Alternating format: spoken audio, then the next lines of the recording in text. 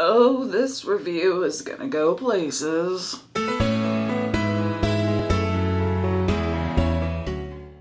Alright, here's your review survival guide.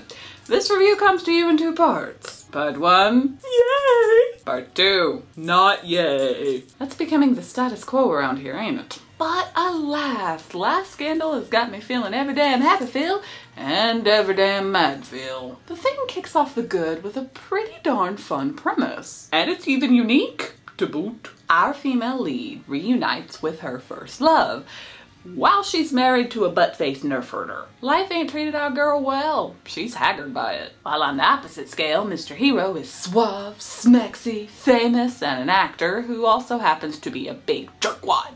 That ain't fun. After her hub gets jailed, Sun Hee needs money, so she lands the maid job at the hero's house. That is emotastic trophy paradise! But that is also where the good cues the bad. Like always, Suckville pops off at episode 13. I don't know what it is about Dramaland wanting to make everything suck at episode 13. It's so irritating. But you know, until that point, everything was peachy keen. And I mean everything. For 780 minutes, Last Scandal was very heroine centric. Her personal growth, her iron will, her spine of steel. She's funny and emotionally engaging, likable and flawed and nuanced and god damn it, why did it have to bomb? How did derail, you ask? Well, funny you should ponder that, cause I'm gonna tell you, good old girl that I am.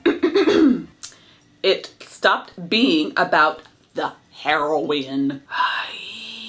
The writers go to Sausage Town and suddenly it's all about the hero's company. And oh my god, yawn. You know that juicy internal conflict of Sun Hee coping with a shit hub? Yeah, that gets morphed into crap, cause bam. We got external conflict out the ass with hero secrets and birth secrets that are super secretive. Oh my god, why are family secrets such a thing? Cause they're not a thing in the real world. Now, yes, admittedly, Sun Hee's plot wraps up with three hours left in the drama. So the writers thought, you know what, let's make it all about the hero and his sob fest. Damn you writers. Yes, he's half the drama, but I don't care. I still noped out. Yep, that's right. I'm reviewing a drama that I haven't watched the last three episodes of. Trash, right here trash. But I do not care, I do not care, I do not care, I regret nothing. Why I regret no things? Partly because of Mr. Cardboard Hero, and partly because of birth secrets. The uncle ain't the uncle, he's the hero's daddy, but the second female lead and his brother kept it from him, because of course they did. And at that point, my ass just couldn't be bothered to give a damn. It was so awkward and forced, and I wasn't here for it. So I said, bye drama. But otherwise, oh my god, oh my god, oh my god, I love this drama. And by drama, I mean the heroine. I know, what a tonal shift. If I could marry fictional characters, I'd snatch that bitch up in a heartbeat. Watching her morph from shit on wife to a gal that don't need no man in her life. Damn, it soothes my soul.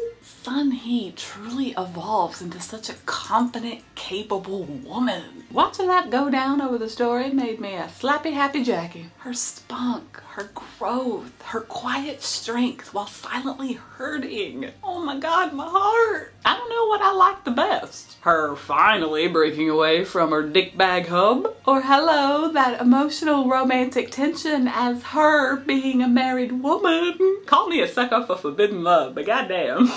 it's only acceptable in dramas when you know the hero's a dick. I just, ah, so much yes until so much no. Don't worry, you ain't the only one that's startled by that sudden change up. My fangirl fields to rage face went so fast that I got emotional whiplash. Now had the drama made the hero more interesting, maybe I'd be in a different boat. Sure, he had love feels, but 99% of the time he was a giant jerk. I am so over giant jerks. So me caring about his hero daddy crap was not gonna happen. If he'd been a beta-tastic hero who broke his back with the weight of his hard eyes, if he'd been a damn decent human being who wasn't a self-centered then adventure, yeah. Sign me on up for the hero backstory pain game. I would then glom that shiznit like it was crack on crackers. Especially those buttery crackers you get with salads. Ooh, I love those. But nope, nope, nope. None of that was a thing. He's just your standard issue Dramaland jerk. And what's worse is the drama became his when it never was. And I could not be bothered to give a damn or to like it or to finish it. So I did not watch the last three episodes of this boob punch. And you can't make me.